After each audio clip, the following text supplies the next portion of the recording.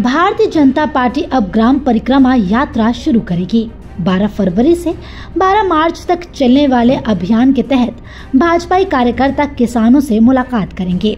साथ ही इस बीच double engine सरकार की किसानों को दी जा रही सहूलियतों से उन्हें अवगत कराया जाएगा। बता दें, इस अभियान के दौरान किसानों की समस्याएँ से भी भाजपाई रूबरू होंगे।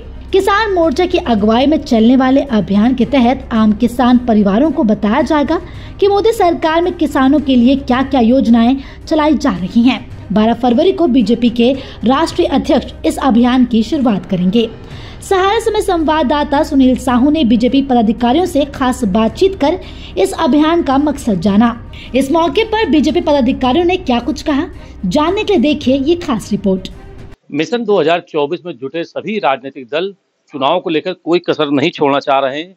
दलों में विभिन्न प्रकार के आयोजन हो रहे हैं, जिनसे जनता को, उनकी योजनाओं को, उनके विचारों को बताने की प्रक्रिया चल रही और इसी श्रृंखला में भारतीय जनता पार्टी ने ग्राम परिक्रमा यात्रा शुरू की है। इस यात्रा के माध्यम से किसानों को बताया जाएगा कि सरकार ने उनके लिए क्या योजनाएँ की हैं। हमारे साथ मौजूद है पार्टी जिला अध्यक्ष दीपू दीपू जी, क्या इससे पीछे आपके मंशा है जो परिक्रमा यात्रा की जाए? हमारी इसके पीछे मंशा है कि माननीय मोदी जी और माननीय योगी योगी जी के नेतृत्व में किसानों के हितों में जो कार्य किए गए और आगे क्या क्या किए जा रहे हैं, किसानों की समृद्धि के लिए जो कल्याणकारी योजनाएँ चल रही हैं, उनसे अपने किसान और किसान परिवारों से संबंध रखने वाले लोगों के बीच में जाके उन्हें बताना और तमाम उन कल्याणकारी योजनाओं से भी उनका परिचय कराना, जिनका लाभ उपात होते हुए भी अभी तक उन्होंने नहीं लिया है। तो ऐसे इसी उद्देश्य से जनजागरण कार्यक्रम के तहत हमारी ग्राम परिक्रमा योजना जो है, चल रही है। शहरी क्षेत्रों में मंडल स्तर पर आयोजित होगी और गाँव क्षेत्रों में प्रत्येक ग्राम सभा में ये जो है यात्रा होने वाली है। ये ग्राम क्षेत्रों में चलेगी और यात्रा होने वाली है। लेकिन देखा जाए तो आप लोग तो बता ही रहे हैं सरकार की योजना है लेकिन विपक्ष कहीं ना कहीं निशाना साध रहा है। वो कह रहा है किसानों को एक रास्ते दे रहे कि चोर रास्ते से निकाल रहे हैं। यूरिया की बोरी के रेट तो नहीं बढ़ा रहे लेकिन उसकी वज़न कम कर दे रहे हैं आप। क्या कहेंगे?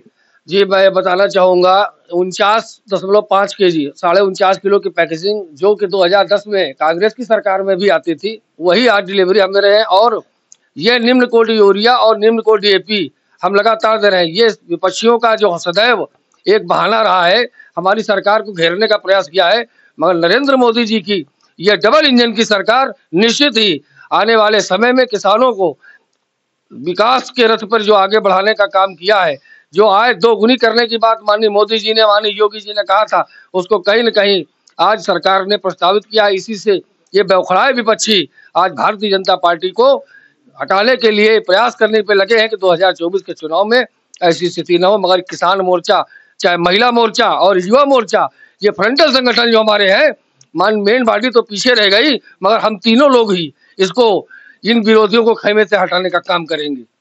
इनका मानना है कि जिस प्रकार से डबल इंजन की सरकार में काम हुए हैं, इसी बलबूते पर तीसरी बार नरेंद्र मोदी देश के प्रधानमंत्री बने। कानपुर से कैमरा पर्सन प्रमोद त्रिपाठी के साथ सुनील साहू, सहारा समय।